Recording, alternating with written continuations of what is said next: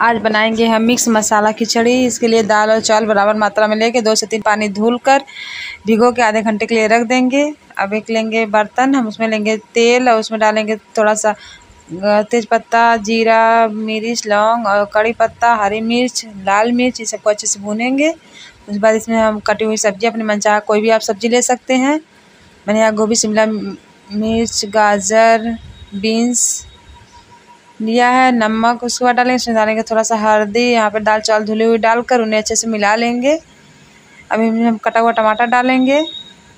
अब यहाँ आवश्यकता अनुसार मैंने यहाँ पे एक लीटर पानी डाला। आप अपने इच्छा अनुसार जितना आपकी ज़रूरत उतना डालकर, उसके बाद उसमें नमक डालकर, ढककर दस से पंद्रह मिनट पकाएँगे बीच बीच में चलाते रहें। जब दाल चावल हमारा अच्छे से पक जाएगा, हम इसमें तड़का लगाएँगे, इसके लिए लेंगे एक पैन में थोड़ा सा तेल, उसमें डालेंगे जीरा, हरी मिर्च या अच्छे से जब हमारा भुन जाएगा तो हम इसे डाल देंगे खिचड़ी के ऊपर से, इसमें डालेंगे थोड़ा सा कश्मीरी लाल मिर्च, कस्तूरी मेथी, इन सबको डालकर अच्छे से इसमें हरा धनिया डालकर मिला लें। आपकी खिचड़ी तैयार अगर आपको रेसिपी